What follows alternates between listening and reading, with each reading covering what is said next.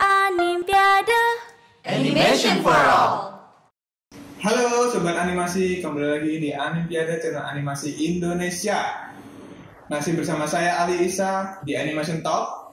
Episode ini kita akan ngobrol bersama dengan seorang sosok tokoh yang identik dengan Battle of Surabaya. Kita hadirkan Mas Arianto. Yeay.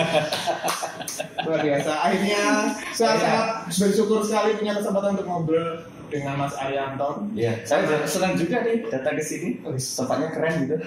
Ternyata di Jogja ada tempat keren gitu. Iya. Saya, saya tuh dulu ngikutin Battle of Surabaya dari tahap uh, dia masih developing. Oh ya? Iya, kan masih misalnya di Facebook tuh. Saya aja lupa developnya kapan ya. Karena saya di Facebook, Iya. kemudian saya ingat uh, ada akunnya of Surabaya, saya ngikutin sampai akhirnya rilis dan saya tonton dan jujur saya di ending tuh nangis. Tahu nggak? Itu ya, semua dari Facebook, Instagram, web. Saya yang bikin. Sendiri? Iya. Gimana? Nggak ada orang. Jadi, jadi, jadi saya boleh cerita Iya ya. iya. Jadi Battle Surabaya itu mulai dari produser, penulis, sutradara, bahkan mungkin sinematografi. Saya terpaksa harus terjun langsung gitu. Jangan-jangan nanti yang nonton juga saya sendiri. Untungnya enggak. Untungnya enggak. Tapi memang kenyataannya gitu. Jadi memang waktu itu ya gimana nggak ada resource seperti sekarang animasi sudah mulai bagus nih. Eh, terutama untuk SDM-nya sudah mulai banyak gitu. Kalau dulu enggak. Jadi ada banyak orang mengatakan dia bisa animasi, tapi begitu kita masuk ke kompetensi yang kita inginkan nggak bisa gitu. Hmm. Uh, salah satu rahasia dari uh, kesuksesan sebuah film biar ditonton lah ya masalah box office beda urusan adalah salah satunya adalah cerita atau story kalau storynya nggak keren Hmm. nah kita sulit mau mau mau develop animasi yang lebih baik Hmm. terus karakter jadi story dan karakter itu harus benar-benar kawin tuh nggak bisa sendiri-sendiri kalau mau ditanya karakter dulu atau story dulu nggak bisa Harus dua-duanya ya? harus dia harus bareng. Harus sinkron. Nah, itulah kenapa waktu itu akhirnya terpaksa saya eh, ya coba untuk ya jadi produser, ya jadi scriptwriter, ya jadi sutradaranya. Ini kalau kita bisa bilang Mas Ari ini gagas ya. Semuanya diembat. Tapi ini menarik. Eh, kalau mungkin buat teman-teman ya sekedar info, Mas Ari ini kan kita kenal sebagai sutradara dari Battle of Surabaya, director. Iya. Walaupun ternyata semuanya dibikin juga cuma sutradara dan kemudian juga mengajar di eh, Amikom. Iya, universitas. Amikom. Dulu belum dulu belum universitas, dulu masih Iya, akademika gitu. Ya, kemudian eh, kalau yang info beredar di internet masih sebagai CEO MSV. Sekarang udah Tapi enggak. sekarang sudah enggak. Oke, sebelum kita bahas ke sana, oke kita agak flashback. Iya, Eh, iya, kita flashback. Ceritanya tuh gimana sih awalnya kok seorang Mas Ari ini bisa terjun ke dunia animasi? Oh iya ya. Jadi dulu gini loh. Jadi saya waktu masih kuliah, masih kuliah, itu kan saya eh, sebenarnya nggak ada hubungannya antara animasi dengan kuliah saya karena kuliah saya itu ternyata teknik informatika jadi Oh, sama. sama ya. kita satu iman dalam apa eh, disiplin pendidikan. Ya. Jadi anehnya waktu itu memang eh, kita kategori mahasiswa yang nakal. Jadi nakalnya itu dalam artian eh, biasanya identik teknik informatika kan belajar programming, Hmm. jaringan. Waktu itu tahun angkatannya Dylan lah. Iya. Hanya Kadang disuruh nyapis komputer. tahun 90-an. Terus kemudian saya ternyata mempelajari karena saya saya nggak senang dengan programming, saya nggak senang dengan jaringan gitu. Saya akhirnya mempelajari justru malah desain grafik. gitu. Hmm.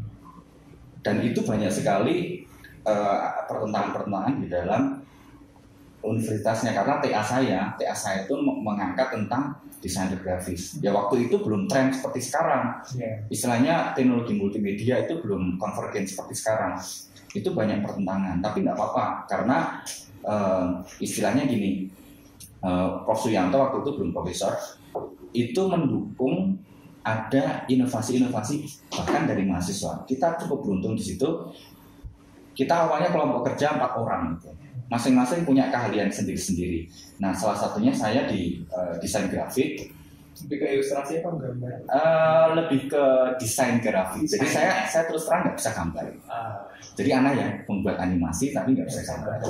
Nah tapi itu gini, jangan dijadikan inspirasi, jadikan pembanding aja.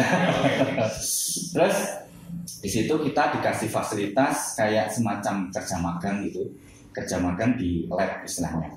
Di lab waktu itu ada uh, satu perusahaan yang namanya MSV, itu sebenarnya sudah ada sejak dulu, tapi perusahaan itu bidangnya kayak pembuatan baliho, kayak tuan spanduk kayak gitu gitu.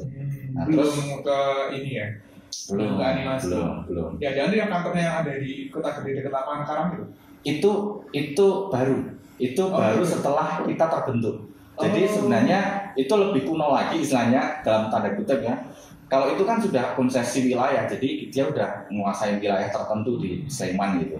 Kalau yang ini nggak benar-benar pure produksi spanduk gitu. Hmm. jadi benar-benar yang masih sangat kecil gitu.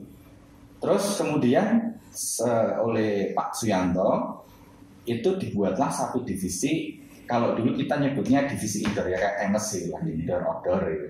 Nah kita project-project awal-awal itu adalah bikin presentasi wisuda itu posisi Mas Ali masih jadi mahasiswa. mahasiswa. Jadi istilahnya kita magang di situ, kita magang. Nah presentasi wisuda itu kemudian ditonton kan kemudian eh, eh, kayak diundang tuh tamu-tamu. Ternyata salah satu tamu itu adalah relasinya salah satu stasiun TV di Indonesia. Nah, inisialnya SCTI itu. Oke. Kemudian kemudian se- eh, eh, em, eh, tamu itu punya acara acara bersama Katon Bagaskara. Nah, Katon Bagaskara mau datang ke Jogja. Nah, ketika datang ke Jogja, dia butuh sebuah kayak apa nih yang bisa disajikan nih. Akhirnya presentasi multimedia itu. Nah, dari situ akhirnya kita dapat project-project, dapat project-project. Salah satunya kerjain project-project di Jakarta. Nah, di Jakarta itu lah kelompok ini kelompok yang kelompok kerja kecil ini hanya empat orang gitu. Waktu itu kerjaan bikin project karton Bagaskara saya hanya dibayar kita berempat tuh hanya dibayar seratus ribu ya, berarti masing-masing dua puluh lima ribuan rupiah gitu. masih diganti. Kayak ngeband. Akhirnya kita dapat project di Jakarta, ya lumayan dapatnya sekitar 200-an juta gitu karena Langsung bikin- lompat Iya, dari langsung seratus lompat. ribu. tapi sebenarnya ada ada project-project dari TVRI juga gitu. Oh. jadi kayak bikin subtitle bikin kayak superimpose gitu. Nah kemudian dari situ ada project besar di tahun 2002 waktu itu. Akhirnya di Jakarta itulah saya dikenalkan dengan salah satu studio studio animasi waktu itu. Terus saya akhirnya belajar. Belajar di studio itu kita masih belum punya gambaran nih apakah kemudian akan mengembangkan animasi atau enggak. Ternyata saya tertarik. Nah hasil kita studi banding di Jakarta itu ketika proyek di Jakarta udah selesai saya bawa pulang ke Jogja. Terus saya hubungi teman-teman saya yang mereka hobinya gambar. Karena cuma gambar-gambar Oh, ilustrasi. Yang empat kurang ini tapi ada yang bisa ngeband. nggak ada. Nggak ada. ada. Karena masing-masing ini yang yang dua orang programming yang satu orang itu marketing. Jadi jadi Oh. mereka nggak ada yang yang jago gambar. Akhirnya saya hubungi teman-teman karena kan saya kosnya di dekat UGM gitu. Banyak komunitas-komunitas UGM kemudian saya coba gabung mereka mesti saya undang mereka. Eh, waktu itu saya cuma bilang gini aku nggak bisa loh bayar kamu tapi kita bikin karya bareng. Ya minimal makan malam tak bayarin wis ya gitu loh. Jadi istilahnya gini. Jadi ibaratnya saya rekrut mereka dengan bayaran makan malam. Ibaratnya gitu. Nah akhirnya kita coba bikin beberapa kayak portfolio gitu. Ternyata Pak Suyanto ini tertarik. Tertarik untuk membuat kayak divisi animasi gitu. tadinya kan ini divisi MSV ini yang kita bentuk dari kelompok kerja ini kan akhirnya terus diresmikan jadi perusahaan gitu. Nah perusahaan ini ordernya adalah pembuatan iklan. Jadi iklan-iklan Amikom, iklan-iklan pokoknya perguruan tinggi, perguruan tinggi itu kita yang bikin gitu MS atas nama MST. atas nama MSW. Nah kemudian ini di- dikembangkan eh, jadi divisi baru, divisi animasi. Eh, Pak Suyanto ini mau mem- memodali di awal. Jadi dengan membeli sebuah karya dari salah satu penulis Indonesia, kemudian karya itu kita jadikan sebagai bahan dasar untuk eh, pembuatan portfolio. Kalau nanti di search di YouTube ada salah satu karya pertama kita itu judulnya Jatayu. itu animasi Animasi. atau Animasi 30 menit kalau nggak salah, 20 atau 30 menit gitu. Nah sebenarnya itu rencananya mau dibikin series. Cuma kan ternyata mem- membuat animasi di waktu itu ya cukup mahal bukan mahal, nggak ada orang. oh Tahu nggak yang- SDM ya Jadi eh, animator, karakter desain dan sebagainya itu hanya satu orang yang utama. masing-masing Satu orang aja waktu itu itu satu film. Terus ada background hanya beberapa orang. Jadi awalnya kita kalau nggak salah ya, kalau nggak salah itu kurang dari 10 orang kita bikin film Jatayu gitu. Ya kalau dilihat di YouTube ada, tapi ya pasti tidak sekelas seperti Battle Surabaya. itu Karena pembuatan pembuatan mungkin ah, tiga bulan ya waktu itu. Tiga bulan sepuluh orang. 10 orang. Itu dong mas. Ya lumayan Bang. tapi kan kualitasnya kualitasnya ya biasa lah karena baru awal-awal. Terus kemudian eh, keluar lagi ide dari Pak Suyanto untuk kita membuat petualangan Abdan judulnya waktu itu. Nah akhirnya nambah pekerja lagi gitu kan.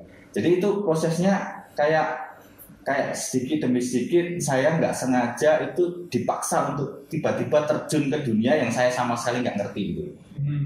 Jadi, ibaratnya kayak- Iya benar. Iya kayak kayak kamu takdirnya adalah bikin ini ya gitu loh.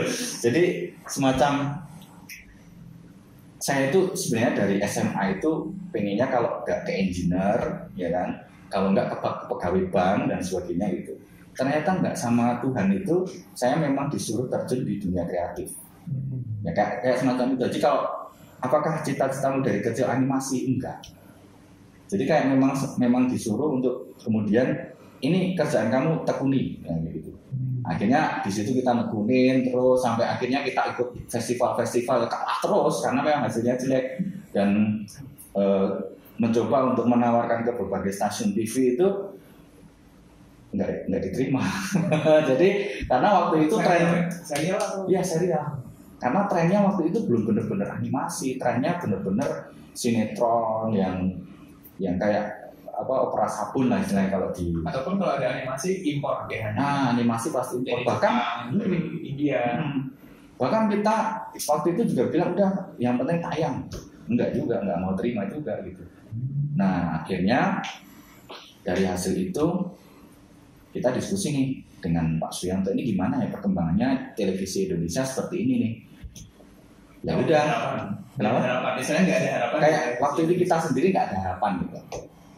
Terus akhirnya em, kita diskusi ada ide gimana kalau bikin layar lebar aja sekalian kita nyoba aja sekalian gitu. Padahal kita nggak ngerti gimana bisnis layar lebar, gimana bisnis bioskop yang sebenarnya kayak apa kita nggak ngerti. Pokoknya kita mau mau bikin yang kayak gitu gitu. Terus ceritanya gimana? Kita coba ambil cerita dari penggalan petualangan Abdan itu dari salah satu subjudul yang judulnya Pahlawan Kecil.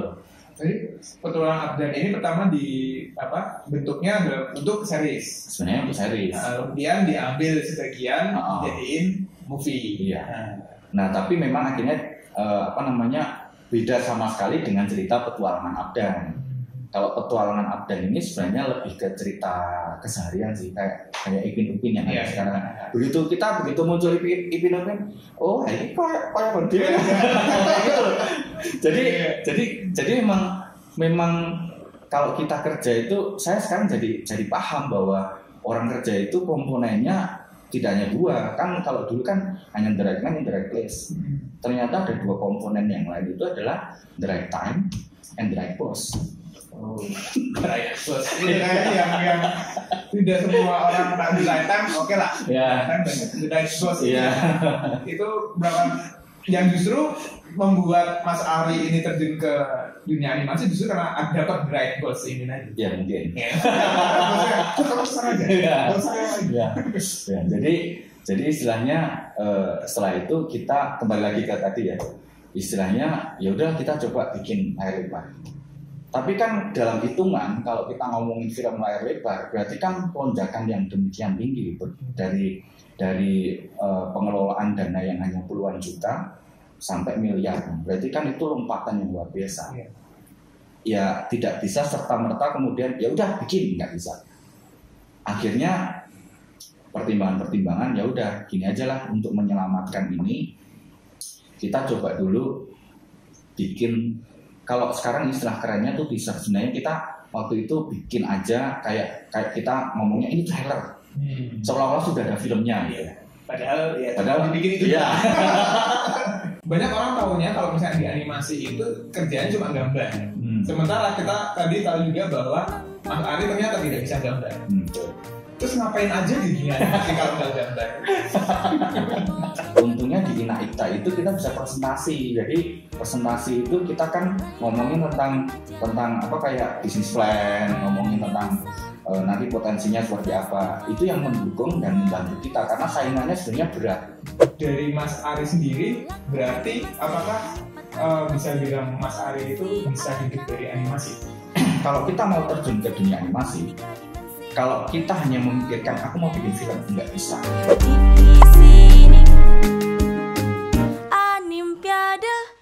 di sini Animpiade Animation for all.